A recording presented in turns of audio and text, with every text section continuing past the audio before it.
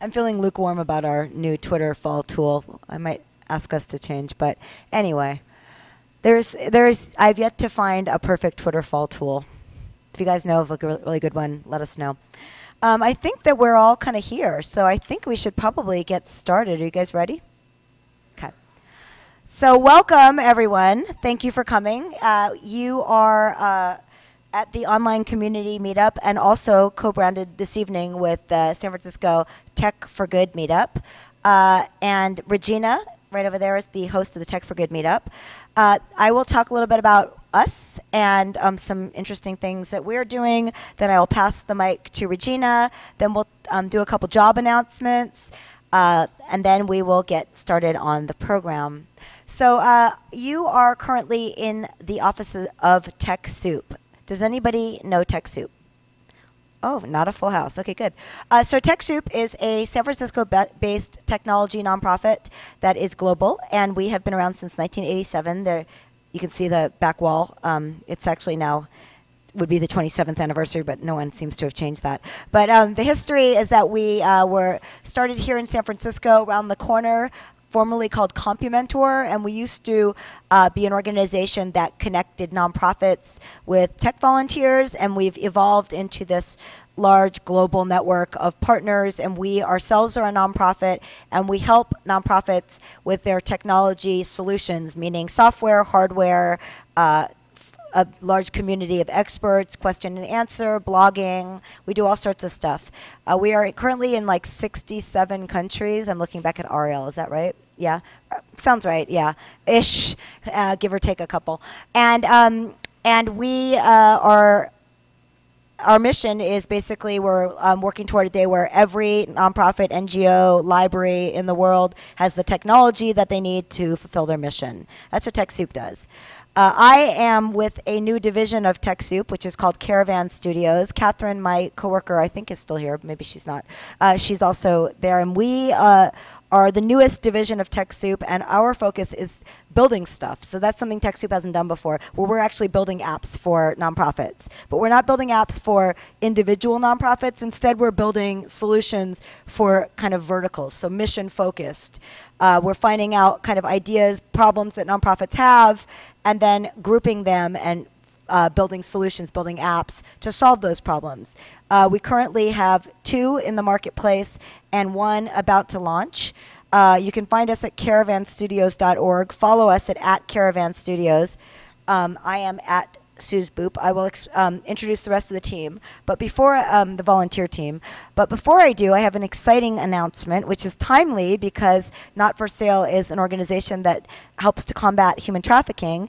And today, uh, the Caravan Studios team, my team, won a very large grant. Uh, we were part of the Reimagine Opportunity Challenge, which is a privately, it's a private funded, uh, basically a, a, bunch of different people, Steven Spielberg's Righteous Persons Foundation and a bunch of other groups, put together this large pot of money administered by Humanity United um, to build tech solutions to help um, support survivors of human trafficking. And we applied, we were one of 360 applications, and we won. So we found out today. I know. It's amazing. We won. We, we won the prize. So um, that's pretty exciting. We're working with um, an organization called Polaris, and the Polaris um, uh, Polaris Institute. They are basically uh, the hotline for human trafficking reporting. The, the 1-800 number is them. So we're working with them, and we'll be building an app to help uh, find, to help fund shelter for human trafficking victims when there are no available shelter beds in hotel rooms, and then get them on the road uh, out of into a safe zone and help get them rehabilitated. So that's what the Safe Night app is. Our other two apps are Range and Four Bells. You can learn more about them at our website caravanstudios.org. We're doing really cool stuff. I'm super excited about that team. Um, my my uh, history with this group is basically I launched this group to um, help community managers and social media managers um, connect and share best practices and uh, have a networking uh, on the ground meetup here in San Francisco. And I could not do that without the help of my incredible volunteer crew. So uh, can you guys stand up? There's Crystal, who has a laptop on her lap, Dorothy, Susan, Uh, Zach right here, who's shy and sitting down, red-haired guy in the front. Mia, Lewis, new member of TechSoup, community manager. Uh, Ravi's in the front. He welcomed you. Uh, who else we, do we have? Mark Siegel. Mark Siegel in the house. Uh, other other volunteers. Um, and our hashtag for this meetup is always OC Tribe. Uh, the other hashtag you can use if you want to, because this is a co-branded meetup tonight, is SFN2, which is the San Francisco Tech for Good group. Regina, do you want to say a little word about that? Then I'll do the job announcement piece. So, hi everyone. Thank you for coming out. And also, I found out tonight that Caravan Studios got that grant. So, I just think that's awesome. So, congratulations. Yay.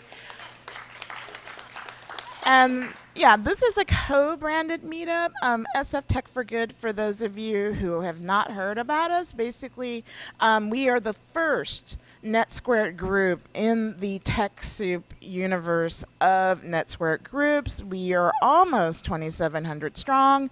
Um, we meet and have events around the intersection of technology and social good, and that can be nonprofit or for profit.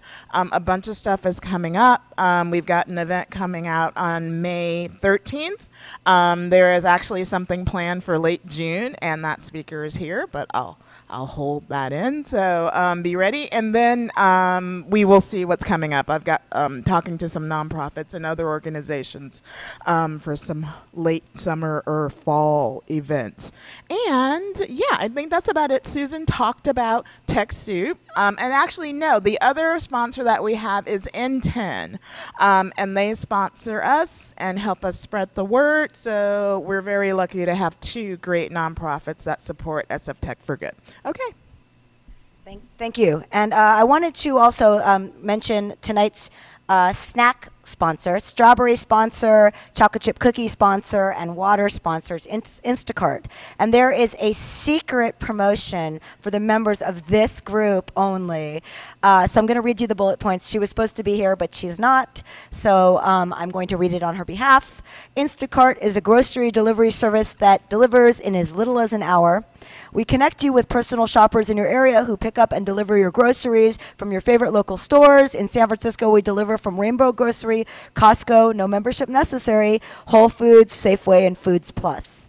To redeem $10 off your first Instacart order, get it. Get yourselves a pen or get your phones out. Write this down.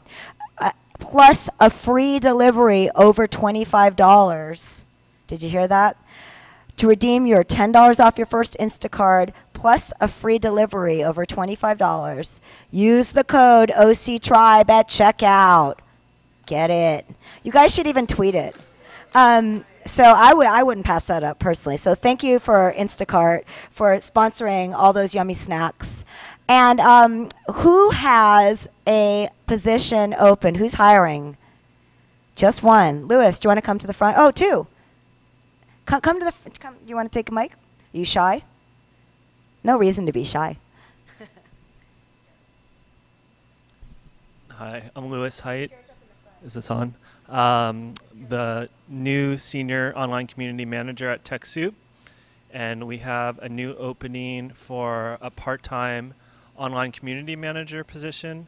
It's a role to manage our forums it's an amazing opportunity. You get to make an impact. We're one of the only organizations, our sole focus is on technology for social good. So check it out. It's going to be posted this week. Uh, it's been published today, and I'll tweet it on Lewisha. Uh, uh, his hash, his um, Twitter handle is L E W I S H L E W I S H A. Um, and by the way, everyone, all of the volunteer crews' Twitter handles are here. Um, so you guys can tweet at them and the hashtags, etc. Um, and the TechSoup Global job URL is techsoupglobal.org slash jobs. Hi, I'm Michelle Tai. I'm a community manager. Yeah, I know. We, this is the first time we've actually met in person. Uh, um, I'm Michelle Tai, and I'm a community manager at a nonprofit marketing agency called MediaCause. We're here in San Francisco on 2nd. Um, and we do search engine marketing, social media marketing, and email marketing for nonprofits. And we're currently hiring a search engine search engine marketing specialist Um, so if you guys know, if you guys are familiar with Google Ad Grants and you're good at it, um, you should apply. Uh, and you have to be located in San Francisco or Boston. Uh, on mediacause.org, there's a button at the at the bottom of the page. Just join our team. You can learn more about it there. Thanks.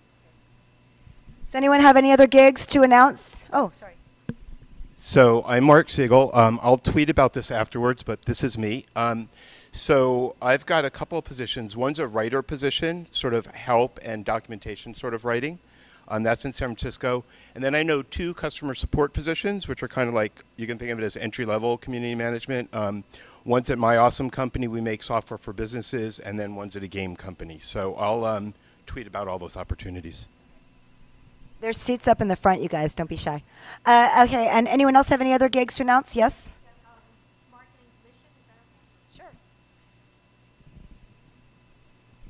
Hi, I'm Jenny Graham Scott. I work with a couple of different companies that are looking for uh, a marketing person who um, could work on a commission basis. Uh, one is a company called The Publishing Connection, uh, which is just launching. It's basically a uh, company that connects writers to publishers and agents and the uh, film industry.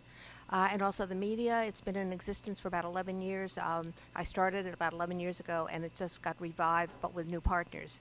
Um, I'm also looking for um, a marketing person for. We're doing a campaign for a, a film called The Suicide Party, which is also a cause to um, introduce people to the conversation about inequality and also the economic suicide issue that's occurred and we're going into production in July. We're looking for um, marketing people who might bring additional funding for us. We have 25,000 to start with. We'd like to raise that to 75,000 to bring in some A-list actors.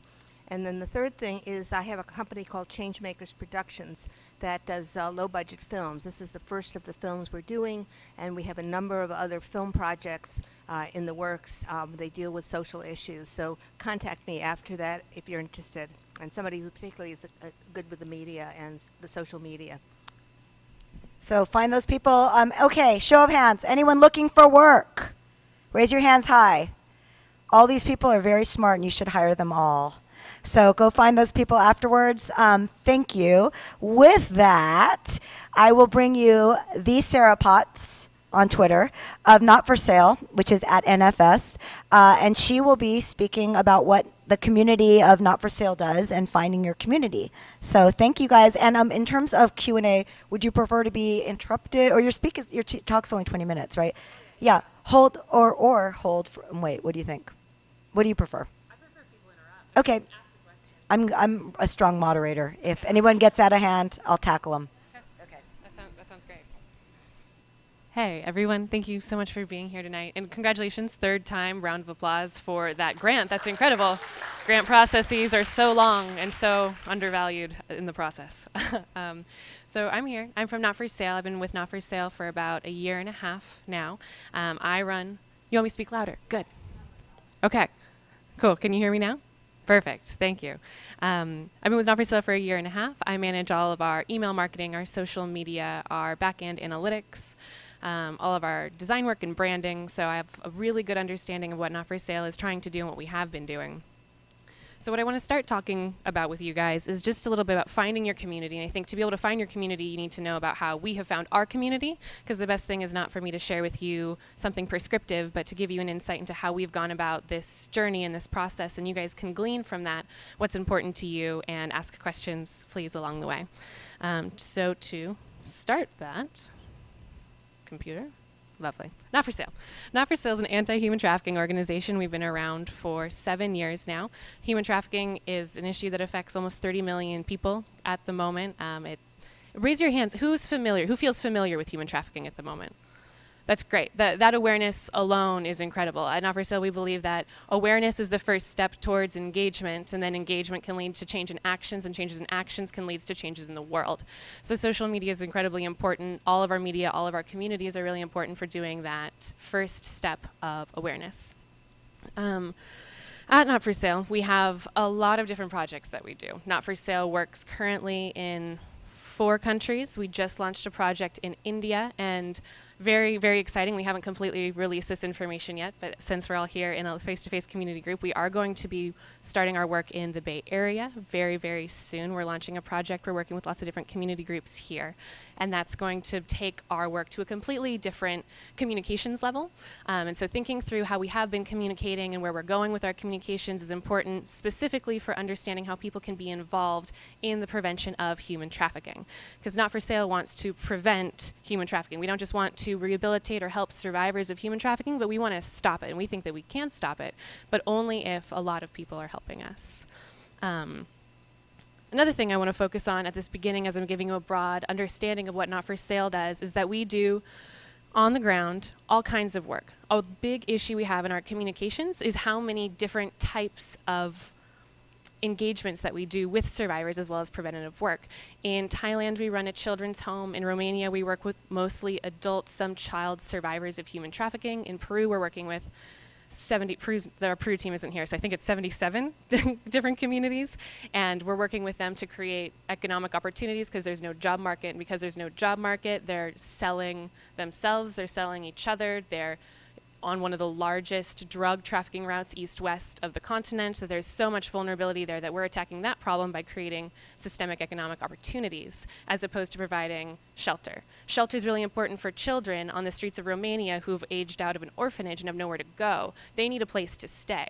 But an adult in the Netherlands who's been trafficked for sex for the past 15 years and is now 30, she doesn't need shelter in exactly the same way. She needs skills, she needs an ability to protect herself. So all of these different messages are really difficult to create simply. And that's just on our project side. We also find it incredibly important to engage communities. Communities, both on the local level as well as the corporate level. Um, companies have an incredible responsibility to act to protect individuals. We talk about sex trafficking a lot, but labor trafficking is just as big of an issue. And when companies don't understand where their supplies are coming from, if they understand that they need raw materials but aren't exactly sure where they're coming from, a lot of child labor, a lot of forced labor is happening. We just had the year anniversary of Bangladesh. I think that's an example we're all very familiar with about not understanding all of the implications of where our products come from having all of those disparate ideas and trying to engage companies and engage individuals and helping survivors in so many different ways as well as working with athletes. Jeremy Affeldt is one of our celebrity speakers. He has committed himself to fundraising for us through very specific and creative ways.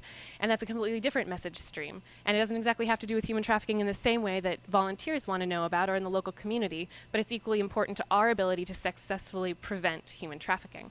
So deciding how which messages we're going to tell is very important.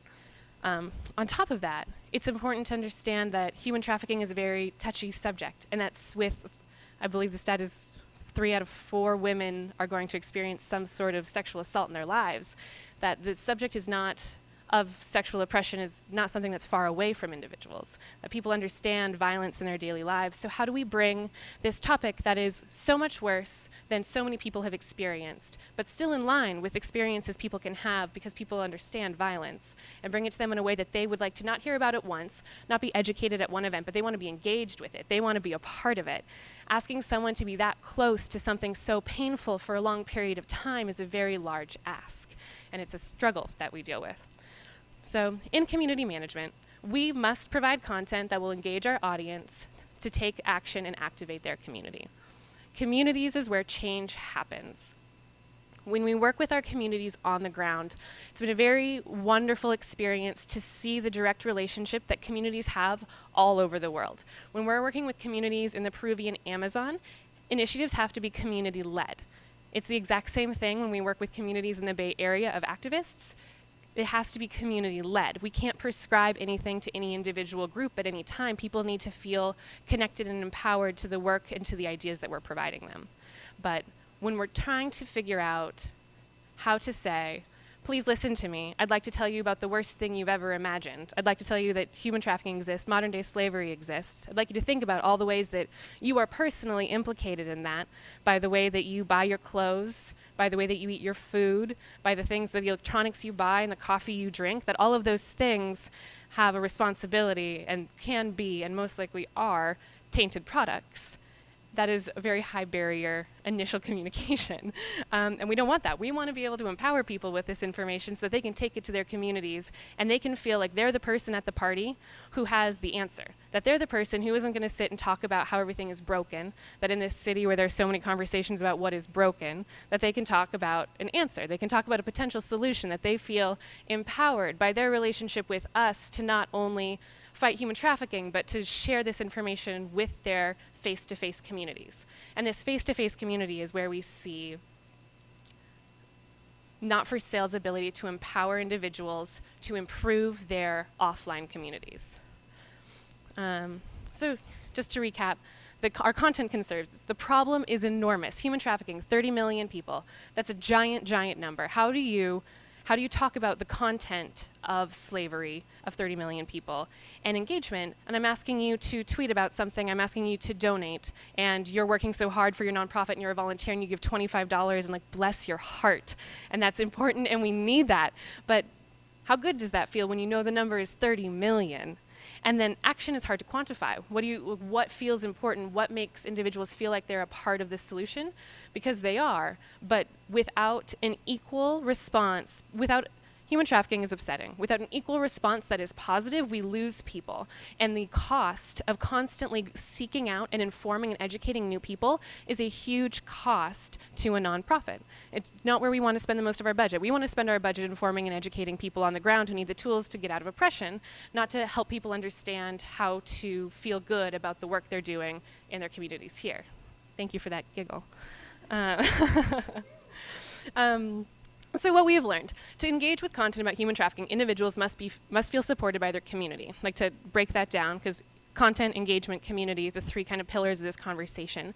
Um, Content is that same thing we've been talking about. How does someone feel engaged with this content? What makes them want to not hear it once, but hear it twice, and then ideally share it with someone? And actions can be all different kinds of actions. Actions can be donating, actions can be educating their friends, actions can be taking this information and going to their HR department and saying, hey, do we have a matching donation problem or problem a process? Hmm, maybe it's a problem. They can also say, hey, what is our CSR? What's our corporate social responsibility here at my company doing? I- am working for this company and I have my 401k, but what is my company doing to help the world? There are lots of ways that they can take these and bring them into the communities in which they already exist. You work for a large company, that company has a large impact. When companies make individual decisions, they affect huge numbers of people, and individuals who are employees of those companies have an ability to influence them, depending on your, whether it's you tell your manager and you push for that to go up, or maybe you're in a decision making power, which is also ideal.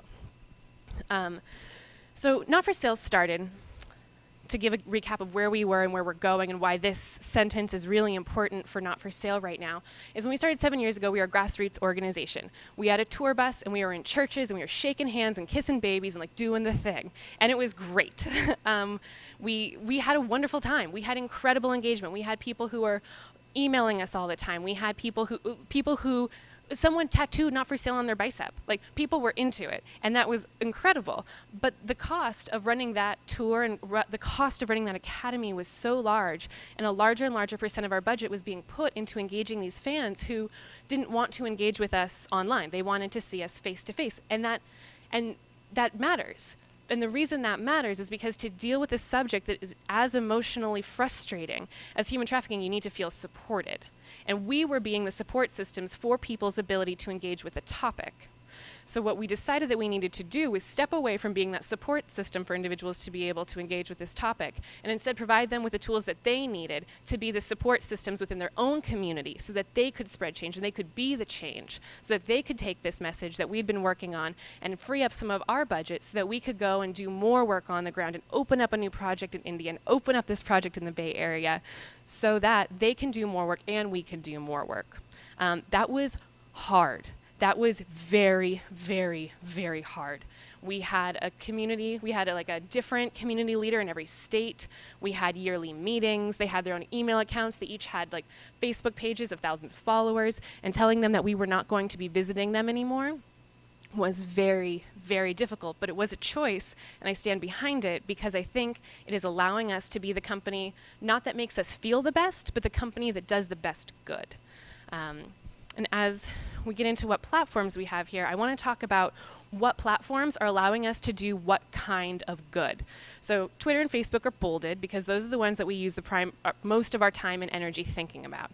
When you're working for a nonprofit and you don't have a giant team, um, like my team is here tonight. It's three of us, and we work real hard, um, and we do a ton of work, and so we can't manage all of these platforms.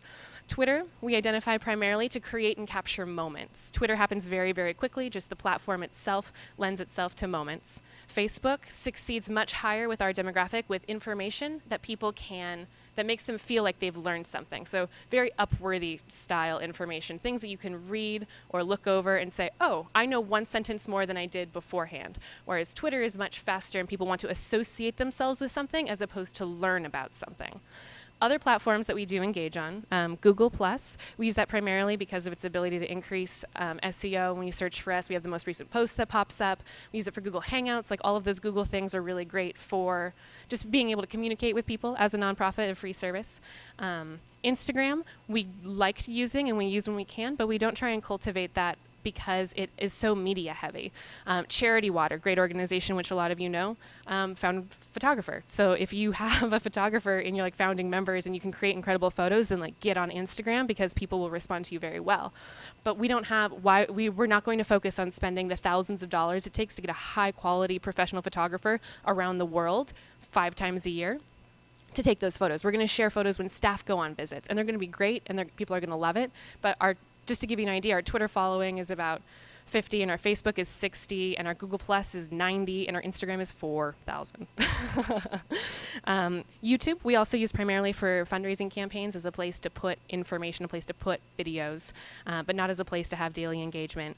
Pinterest, we used when we did a lot of um, it's called we had a store. We had a really cool store. And so we put together fashion collections that were all made by either slave free labor um, or individuals who were survivors from human trafficking. And so we were able to create this visual board about that. But because that is no longer part of what we're doing um, it's no longer part of our marketing plan. Um, and then we also have put through up website and email on there because i think they're very important but slightly different than the rest of this topic. But i'm happy to talk to those if anyone has specific questions later um, so let's delve into a couple examples. Um, I have Twitter examples and Facebook examples. Here's the first one, um, trying to share some examples that work really well. This is associating yourself with inspiring content. Um, can you guys, yeah, you can kind of read that. The first one says, you must do the things you think you cannot do. Eleanor Roosevelt, be inspired, be the change, make an impact. The second one says, How wonderful it is that nobody need wait a single moment before starting to improve the world. Anne Frank. Both of these performed exceptionally well, um, different times of the year, almost a year apart. These did well because of individual on Twitter's ability to see it, say, I feel so great about that, retweet it, and now be associated to everyone who follows them with this type of content. The things that are important about this are the time of day it was posted, the time of, while there are lots of um, you can sign up for a billion different email marketing chains that'll tell you the best time to post something and the worst time to post something and the rules about never posting at night.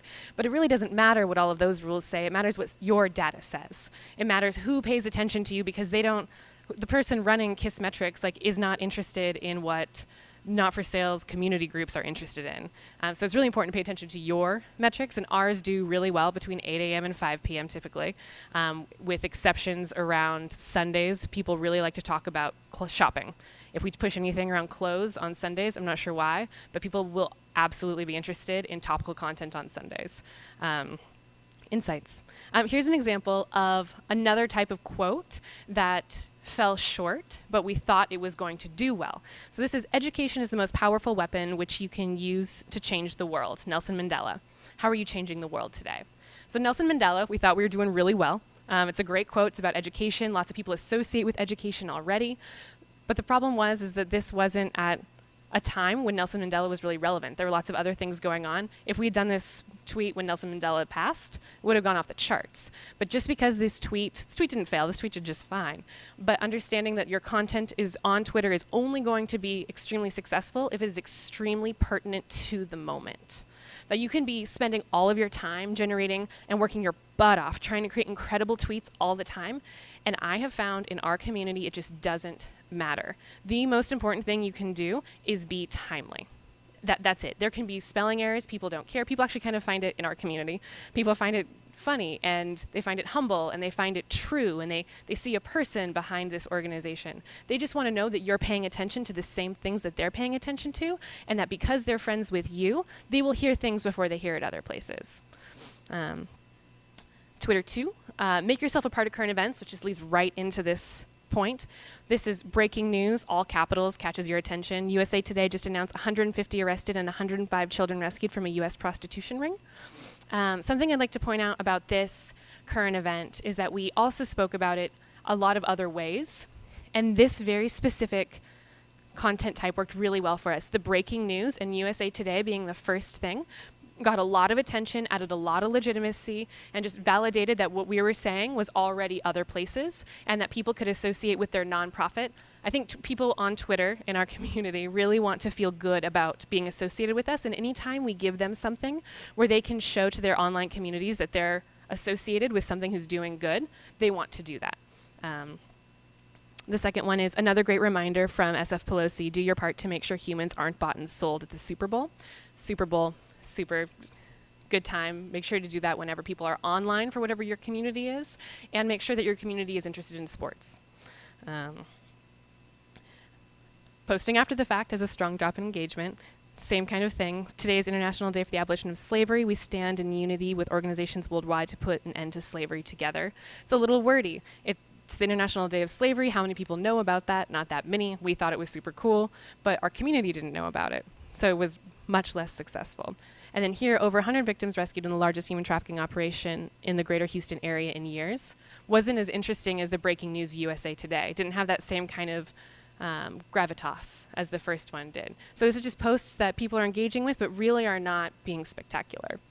Um, this last one is about joining other community movements. Because we've stepped away from creating community moments on our own because we're having one-on-one relationships and asking individuals to retweet and to share. It's really important for us to identify times when the larger community is holding events and participate in those very strongly so that people can know that we are not leaving that community. It's just that we are not actively creating it, but we're still participating in it. And so that also puts us on a one to one relationship that Not for Sale is a person and like Not for Sale has a heart and is doing work as a human just like they are. And so people are much more interested in talking to us during those times. Um, Facebook. Share the information that only you have. This is an infographic, the most vulnerable person in 2012. It's from our annual impact report about a year ago. Um, the great thing about this post is that this post was done, does it say on here? No, March 7th. Th- March 7th of this year. And this was created and posted and pushed everywhere a year and a half ago, everywhere, and we reposted it again, being like, oh, isn't this a great highlight? People went crazy for it. On Facebook, as your audience grows, reposting information that was successful in the past will be successful again because people have new friends, because people want to be associated with it again. They probably don't even remember having seen this infographic before, even though we feel like this is an old infographic. Um, this also does a great job as a visual. Um, all of our Facebook posts do much better with images associated with them, even though you might look at all the Facebook rankings and Facebook, who knows how Facebook is ranking what on what day. But whatever they say, I would like to suggest that it much it matters much more what your community responds to and much less what Facebook is doing, especially in these community groups that are engaged with the content and not with a brand marketing strategy. Like it's not Nike. Um, it's, it's a personal relationship that someone has chose to have with you. Um, and this image is great because you don't have to read the small text to understand the message. You can look at this, mes- this image multiple times and get more information every time, and that's very powerful. Um, Here's another post that we thought was going to be great because it had a photo and it was new information internally, but we didn't make it feel new enough.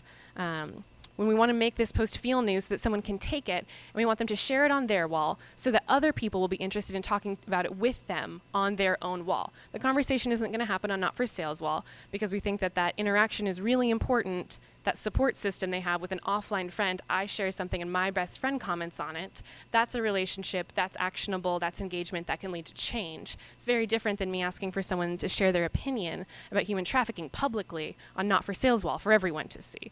It kind of lets them have a little bit of privacy, a little bit of space, a little bit of support. So we thought that was going to happen with this post, and it happened 0%. Um, no one saw this post, um, we think, because it just wasn't interesting enough. It didn't. It was vague. It, well, we're talking about structural oppressions and the need for jobs. It it just wasn't fun or interesting. It's great information, but just not not social worthy, if that makes sense. There are other platforms where this would have done much, much better. Um, here's a powerful moment, again, kind of the current event types of things. This post we were really excited about doing so well because it tapped us into current events and common knowledge. So it was talking about a woman whose daughter was sold in Mexico, and people, and it's an intersection of drug violence as well as corrupt government as well as human trafficking. So you're like little like trifecta of people who are interested in this.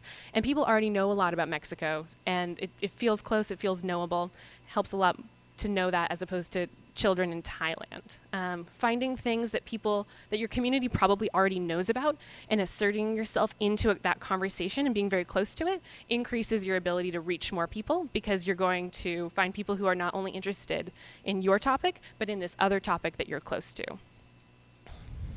Um, then bring clarity. This is another post that was very interesting by Human Rights Watch, but we kind of tossed it up there for an alley oop and no one gave it a slam dunk. Um, we wanted to say, this is very interesting, everyone go read this, but we didn't tell them why it was interesting before they were going to read it. Um, everyone in the office read it, but no one outside of the office read it. so it just needs to always remember to captivate first. Even if you feel like you have a lot of engaged fans, like captivate every time. Uh, we find it helps to change the person who is managing some of your social media because it gets very tiring to be that happy and that excited all the time. Um, it's important that that person have whoever is trained so that your brand voice is consistent. But managing social media for an organization or multiple organizations is exhausting in your need for exuberance. Yeah, question. Oh, that's a great question. Um, we use a couple different things for looking at data. Um, we look at on for Facebook. We primarily look at Facebook Insights. So on the top of the Facebook admin page, you can click on Insights, and then you can select your data range, and you can identify do you want to look at reach or visits or posts, and you can identify the specific subcategory of information you're looking for. Uh, I'd be happy to show it to you as well. Um, and then for Twitter, we use Twitter Analytics. Um, we're actually working with uh, Twitter trying to figure out how to improve analytics for Twitter. Um, they're asking some just like very kind questions to nonprofits, being like, "Hey, do nonprofits use Twitter?" I was like, "Yes, Twitter, we do."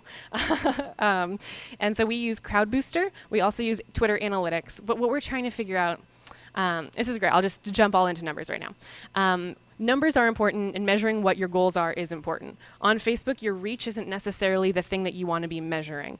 For us, what we're the most excited about is not the number of shares on a post. And the traditional idea is that like a like is good, but a share is better.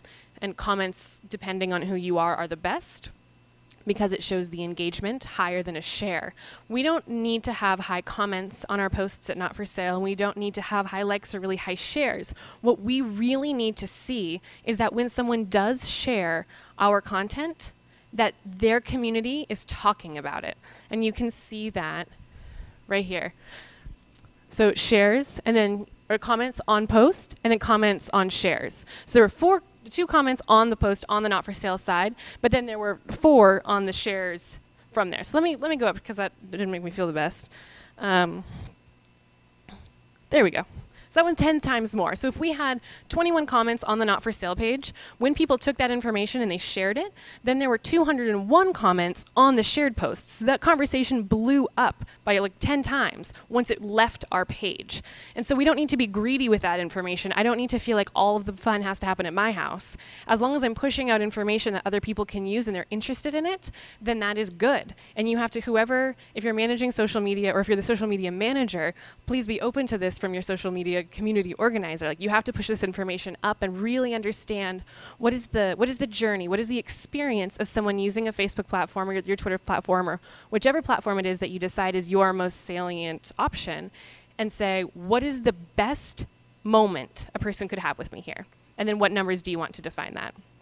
Um, we also like Crowd Booster and Not For Sale. It gives really good uh, visual displays of information. Um, Sprout is also very good if you're interested in paying a little bit of money for it. Crowd Booster you can get for like $10 a month. I can give you all my plugs for social media management afterwards if you like. Where are we? Measure and adapt. Work with followers to achieve your goals. Figure out what your goals are, and then figure out how your followers can help you achieve those goals. And it's a, it's a push and a pull. What do you need them to do to achieve your goal? All of us, if you're here, Tech4Good, Not for Sale, we're trying to end human trafficking. We need people to care. We need people to act. We need people to engage. And we need to be very clear about what our goals are for all of these social platforms. And then we need to create ways for people to enjoy helping us achieve those goals. Our basic operating procedure is to get people to want to share this information to the people with whom they have face to face relationships with so that they can have an ongoing conversation that is positive and that is informed and that can inform purchasing decisions and donation decisions throughout their lives. Um, here's some photos of what CrowdBooster looks like and the way that they can show information. And this is to show how our reach has changed over time. Back in the day, you see that all the way over on the left. Um, I don't think you can see the scales right now. It's 60,000 on the left side, and over here on the right side, it's 240,000. So while these graphs look very similar, the scale is quite different.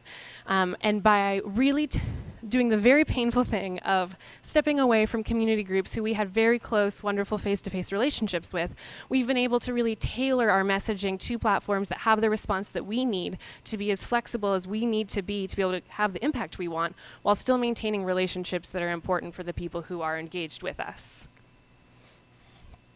Um, final thoughts before any questions are know what you want to say, Choose the platform that best fits your goals and learn what your community values so you can provide it to them. And then empower those individuals to own your mission because when they feel a part of it, they'll be very happy to share it with their family and their friends and their community. Um, thank you so much. And do you guys have any questions? Yes, perfect. Question. Thank you. Claps in front.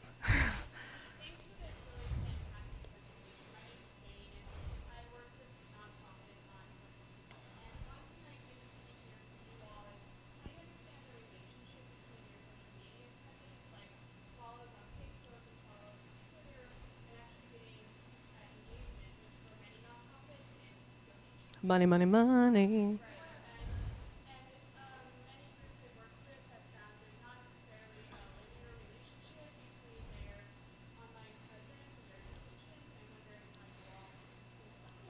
Yeah, for sure. Yeah, for sure. Yeah. I can hand off the mic for the next question. Repeat? Yeah. So for our six person online audience. Um, the, um, the question was if we're talking about social media, how do we value social media as a fundraising tool? Um, and the answer is sporadic and not very well.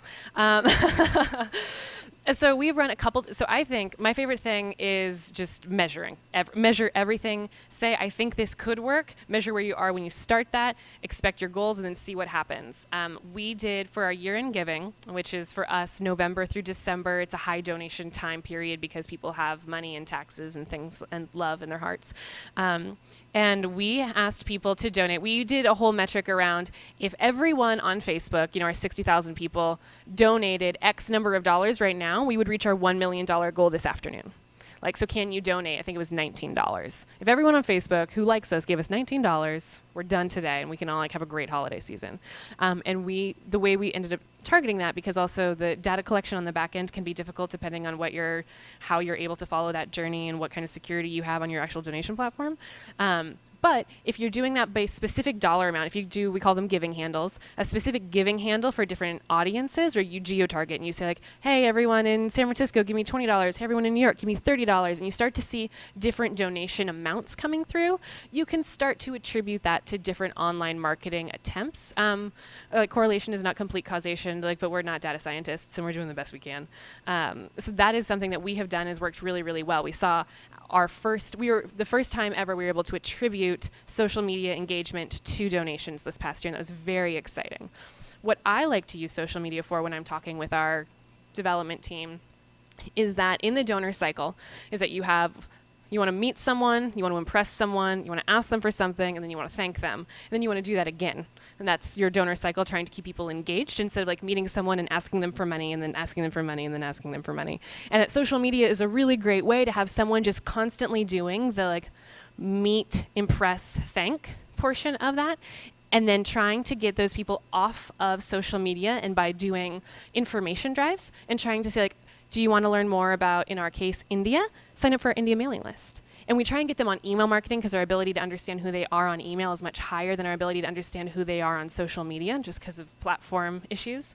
Um, so that's what I would. That's what I try and do. I try and do things to get people onto our email list where I can segment them in lots of different ways, um, and then have a donation ask, but only do minimal social media donation asks because that's not what that platform was made for. Um, and I would do it only if you have something timely. Because if you wanted to donate to something on Facebook and there was some information that you could glean from it if you're like oh wow i had no idea about this thing.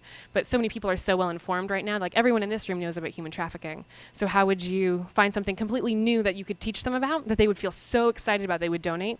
Or on twitter there's a hurricane in thailand and we have a project in thailand and i need money like right now. Um, i think that would be very successful but only in those large scale news events would i suggest a large scale social financial push does that answer your questions? Cool. Does anyone else have a question? Yeah.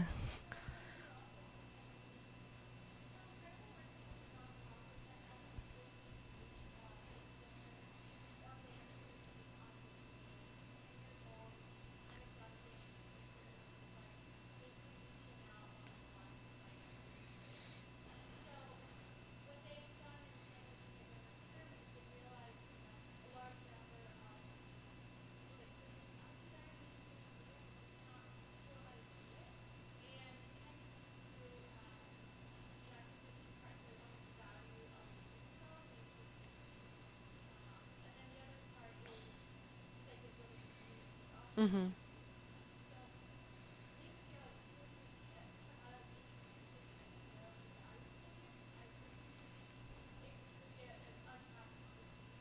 Mm-hmm. Yeah, so let's see if I can reiterate that question. So, at the nonprofit you work at, your donor triangle has been focused on high asset donors, and you're trying to prove the value of social media to adding to that style to your bosses, correct? Cool. Um, I would say the places that I've seen it work. So, our, our CEO is like, charismatic boss man. Like he's traveling around the world, like sitting at like the Swedish king's castle. Like he's like doing things that are cool, like 100%. We have like Bruce Willis boss, and I think that what we end up seeing is that when he is out and about, he he will like take a photo of him fishing with a potential partner, and he'll be like, "Awesome time at the boat with Mr. Barleen," and and like and then he he tweets that, and then me at Not for Sale, I say sounds like great things are happening and then they feel like things have already happened when they haven't happened and it's just on social media but their social media manager knew about it. So now what you've done is you've created yeah right? So you've created a conversation that that company already knows about not for sale. So when you come in you're like well i don't know if we want to work with this nonprofit like can we trust them? Like we're a big company yeah, who knows? But when your staff is already talking about it and they're already seen the facebook page and they've already seen what we are and they've already had a conversation with us then they feel great about it. So they just feel good, and then it's just up to our sales team to close the deal, which is their job, so they're good at it. Um, so that's one way. And I think that's really important. Um, I think another way is to just drive general awareness. Um, you never know it's like increasing those like inbound leads like you just don't know who's out there and you have an ability for a small number of dollars to increase the people who know your name and your brand and your logo that you cannot do with traditional marketing with a limited budget getting people just to know your name and starting to even like on social media you can be so pushy. Like you can like if you wanted to just like hang out with nike you could just like be talking to nike like all day. Like and you can and, like and people will talk to you and like big brands and big companies that have the money to have extensive social media networks they want to engage with people who are engaged with them. And so the more people see your name associated with another name is also really great. Um, i think it'll be slow and i think that you should I think that's something that could probably happen with a part-time person or with a like three-month setup trial. I think you could figure out what is happening and set a couple like milestones. Like I think that we could increase by 10% over three months and meet that goal. And I would set them very like finite and specific goals for them, because if social media is something that they don't know anything about, community management they don't know anything about, they're going to be like, well, where are my million dollars? You're like, well, it's not really the goal of this. So you have to be really clear about what you think your goals are. And if you want to talk more about specifically what they could be, I'd be happy to talk about that afterwards. Oh, yeah.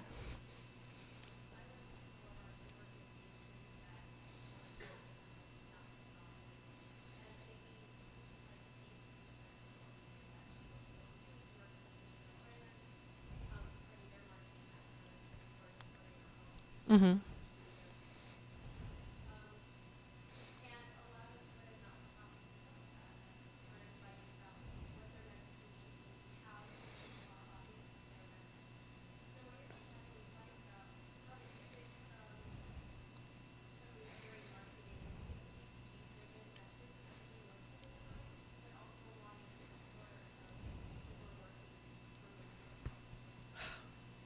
That is so hard.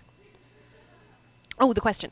Um, the question was um, you work for a nonprofit that does, no, you work for a for profit that does marketing, and you have nonprofit clients, and you're trying to use your social network to help boost them. But the change in message is complicated. And how do you have two different messages living side by side? Um, so one of the things that, not let's see if this anecdote helps. Um, one of the things that Not for Sale does is we engage different brands, um, emerging brands mostly, and people who are trying to already have socially responsible ideas. Um, Alter Eco Square Bar, delicious. It's a plug, but it's also delicious. Um, Boll and Branch is a new company that's making really wonderful sheet sets. They're like very, very soft. Um, and, and so we have, so we have these things, and we want to talk about them because they're giving money back to Not for Sale, which is us, and then we're going to give that money to survivors, and we're going to use that for our operations. Like, how do I plug, like, or like a Dodo case? This is the a good example. Dodo case. Is anyone familiar with Dodo case? three people. So Dodo case is lovely. It's a great case for your like iPad Air. So after you spend all of your thousands of dollars on your Mac, you can spend another hundred dollars on like a fancy case for it. Um, and that's a really specific demographic. And it is not our community demographic. However, Dodo case was really, really happy about partnering with us, and they were just like devastated that we didn't want to market about. They were just they were like they they were emotionally upset that I would not tweet about them more. And I had to sit them down and be like, look, there are only certain times when me talking about you is good for you. If I talk about you at a time when my audience isn't interested, it, it doesn't help you. It actually only hurts me. Um, so what I try and do is I try and create baselines for what my community wants, and our, my community is my most important community. And I don't know if you want to start growing your community to include other facets, but if you have a community that you that you like and you want to keep them, then I would create baseline understandings of what is average. And then I would say, I would start posting about other things and other interests. And as soon as you see those numbers start to dip, say, nope, like people aren't people aren't responding. I need to stop talking about that and talk about the thing that my community comes here for. And then I can start talking about this other thing. Um, and then the best way to talk about that other thing is to be really clear in the message about why they would care. Like if they come to you because you're a brand marketing expert and people follow you on Twitter because you always show like the coolest like new Dieline awards. Um, then you should find something cool to say about the branding of a nonprofit that you're working with, even if it's not, even if what they do is like rescue kittens, but they have a really cool logo. You should say, look at this sweet logo. Even though that's not what they want you to say about them, that's what your audience will be interested in, and that is their entry point into that message. So it's making sure that you really, really super control the messaging that your community is interested in and don't let other people's feelings get in the way of that. yeah.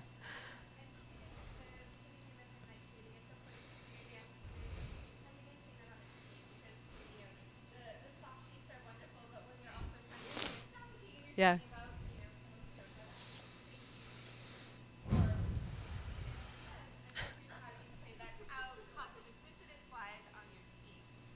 Um, the question is, do we still have six people watching?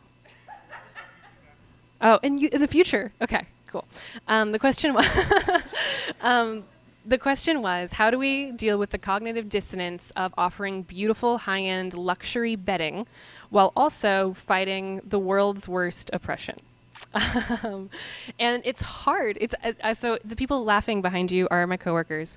Um, it's hard. It's very, very hard, and we fight about it. Um, and I think that's healthy. I think that we should fight about it. I think that there is no reason.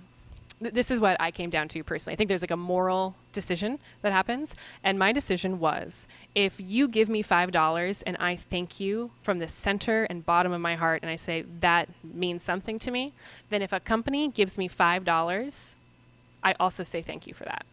So my messaging to my consumers isn't going to be about how bold, like like any of these specific companies are the world's best company, but when they do buy that thing, and if they're going to buy that thing anyway, why not let them buy that thing and help me? And by helping me, we're helping the world be a better place. That I have struggled a lot with the idea of like let's just like tear down the system. Let's like capitalism. There's a lot of flaws, guys. Like let's think about it. um, but we're not we're not doing that. We're not going that way. And the people who need to help us are the people who are succeeding in this system. And they're they have companies and they're doing really well. But they're not they just don't understand. I find that there's cognitive dissonance. People don't understand. Um, and so our sales team is really wonderful at having those conversations. And our sales teams will go out and they'll promise things and they'll say things and they'll get the deal. And then we have different people on the team come in and like be the enforcers about like what we will actually do.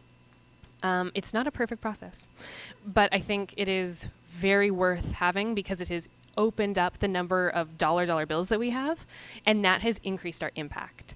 And I truly believe that for our specific cause is if that we if we have I don't know, Safeway change a sourcing practice for their coconuts, that matters radically. And just because I'm not going to see it, that's something that I should know better than anyone else. The like that CSR decision matters tangibly, and I need to. And then my job as a communicator is to explain why that decision should make people feel just as good as the new like shelter house that is helping survivors. We also need to help prevent this.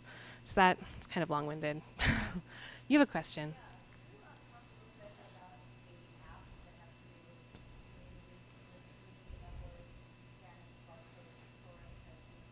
Absolutely.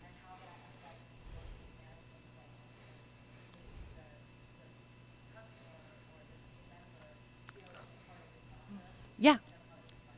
Absolutely. So the question was, we have an app and it's called Free2Work.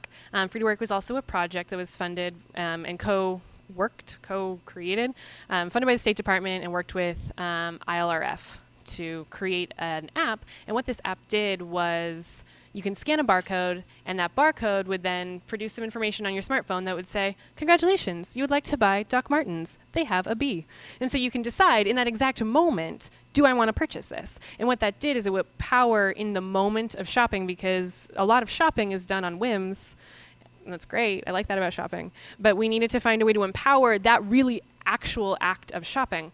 Um, and those grades were all done through a research grant that went and we looked at the risk the, li- the likelihood of slavery in supply chains. And we d- didn't have the money to go like with our like binoculars on the ground, um, but we think that human trafficking is systemic. And so if companies are able to talk to us about what their supply chains look like, we should be able to know by looking at their supply chain how likely it is like that forced labor will be in their supply chain. Are you getting all of your cotton from Uzbekistan, which is like 80% of the world's cotton and also like one of the world's worst human rights violators in the whole world, then like, eh, I don't really want to work with you. Like that's, that's really high likelihood that there are children who made this and died making this.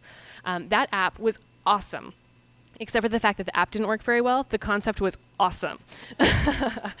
um, the reports you can find online. We have one that we just launched for coffee, and there's an apparel report, and you can read about it and feel super informed. And people love it, and people love it because of all of the information that we put in people's hands in the form of a report, as well as in form of like a moment-to-moment app. Um, the difficulty with that is funding. The difficulty with that is how do you get someone to front the money to research into companies about how they're involved in slavery. It's very like wagging your finger at the man, and the man doesn't like it, and the man doesn't want to fund it. Um, so while it's, it's, created wonderful communities, and we have a lot of people who are engaged with us because of that, and we continue to provide. Um, just released that coffee report and the apparel report. It's a project that we are having a hard time continuing with just because of funding reasons and because of organizational structures. We think that there should be an organization that just does that. And there are cool organizations that are trying to do that. Um, um, what's that one? Abolish Shop was, um, yeah, Abolish Shop was uh, an organization, an orga- a, a, dude, a guy, um, who took our data and then created an app that would be a plugin essentially the same thing as the barcode scanning, but for online purchases. So you could like put it on your Amazon.com account, and when you drop in and you say, like, I'd like to buy my new computer and my three new Twilight DVDs and these slippers, it would say, great, all of those have an A. And you're like, oh, cool, I feel so great about that. Or it would say, hey, all of those have an F. Would you like to put those back in the store? And you could say yes in that moment. Um, that's not up and running yet, but that's an idea that stemmed off of the research we'd done. So it's something that really engaged people because of the tool, but that we need more funding and more people to go and make that more usable across more platforms. Maybe that's you guys. I don't know. let's talk about it.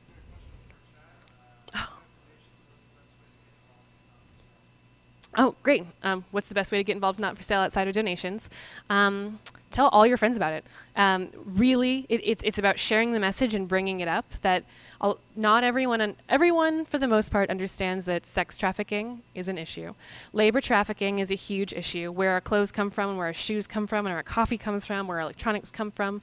That's, it's hard to learn about, but doing due, due diligence there and trying to make everyday decisions that make the world a better place really do make the world a better place um, and creating a community of people who support those actions so that you have a positive feedback loop and you're not alone in trying to make the world feel better because that's too big of a task.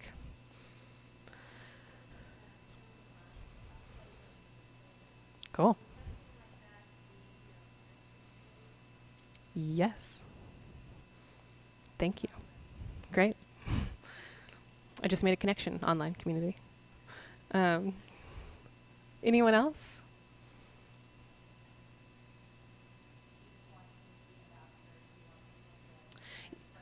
Yeah, I do.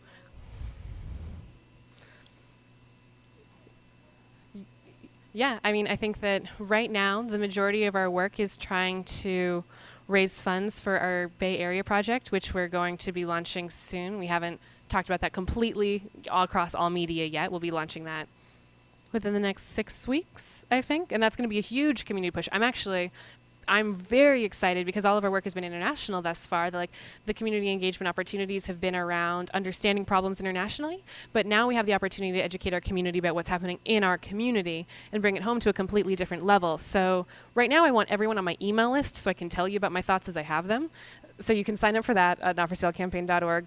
Join. Um, and that way you can stay in the loop about what we need when we need it. And we're trying to be very, very flexible about what we need, and people people caring and people sharing what they want to know about, so they'll feel connected. Will empower us to provide that content, so that because we need we need them, we need people to care um, and be with us. Um, I saw a question in the back.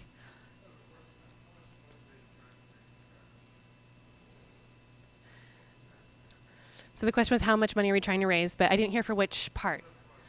For the Bay Area project? Gosh, hard hitting questions. Um, all of the money. Um, I think, I think the goal. Please don't quote me on the Twitter about this. Is a million for that.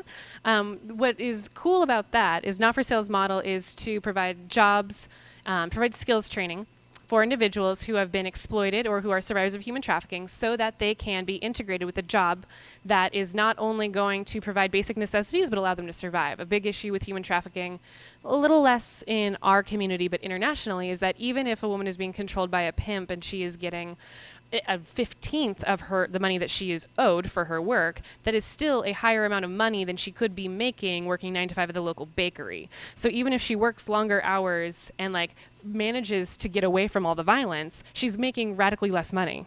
And then where's she going to live with less money? And it, it's very complicated. So we're trying to simultaneously provide job skills and this is this is why i love this part of my job is because we're providing these job skills to people who need them. And then also we're working with companies to understand how they can build internships and jobs for this demographic because if we just give skills and there's no job there's no progress. So working with companies to say you this matters and you need to provide these jobs and this area is so full of potential and entrepreneurship and, and jobs and work and money. And so we have um, an invention hub, which is down in the Dogpatch on 20th and 3rd that we just opened, is about to be completely open to the public, but not quite yet. And you can get coffee there, and it's real good. Um, and there we're going to be training people as well as training companies as well as creating new ideas as well as having incubated new entrepreneurial companies in there we have an accelerator called numi who works with um, at-risk or minority groups who are entrepreneurs and want to start businesses. So we're trying to do a bunch of different things in the Bay Area simultaneously because we have all of the resources in one spot. So million dollars, if you have it, would be great. um, in the back, yeah. Are we working with the San Francisco Collaboration for Human Trafficking? Is that yes? Yes.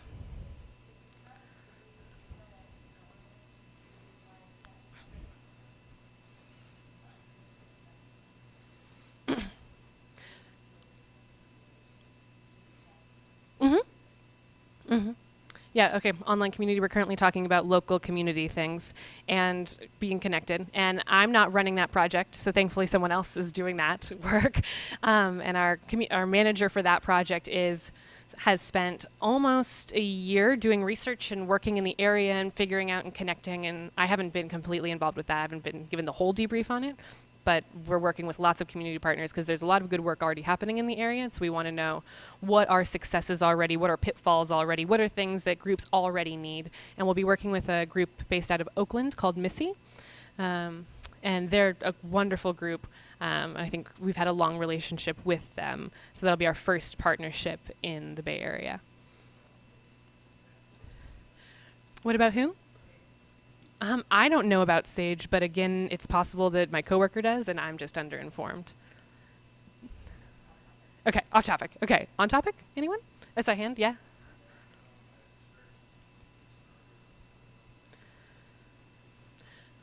Um, the question was about Kickstarter or Indiegogo for fundraising. Um, I'm out on a very thin limb thinking before my time at the company, and I think yes, but that would have been years ago. Um, we've really built up a community that we ask for most of our fundraising from. Um, we used to do some fundraising on causes. I don't know if you guys are familiar with them. They have a lot of different community engagement platforms. Um, we ran an incredible campaign with them, and it worked really well because it was really it was really specific campaign that worked really well for their platform. But for the most part, we find that focusing on the platforms that we already engage on, we already are creating content with those platforms and those user experiences in mind. And so creating new content for a new platform, for a new experience can just drain our resources, even if there's a higher potential for donations, but then there's like a higher cost for us to create it, and then are we duplicating content um, and effort? So we have shied away from that, and instead are focusing our fundraising more on creating a sponsorship team, as well as focusing on how to create more high asset individual donors who just like have money to burn. cool.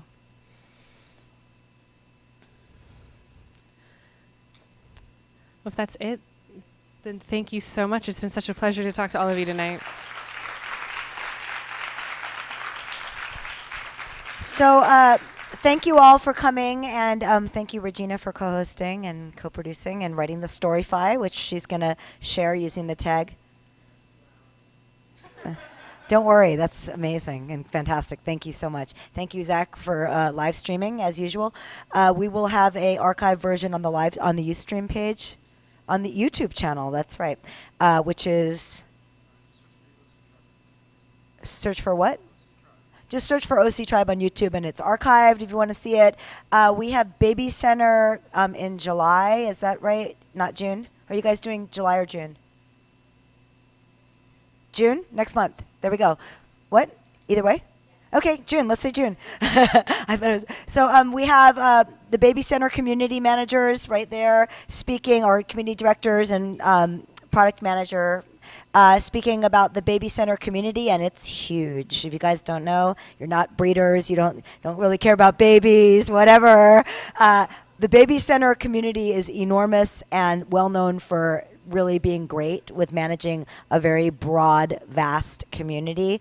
Um, and we're fortunate enough to have them speak next month. They will be here. Uh, their office is actually across the street, so that's convenient for them too. Uh, and then the following month, uh, we have Katie Kobe, and then we have some other stuff. I'm going to be putting together a panel. Um, probably in August of um, and if anybody's interested in this, ping me.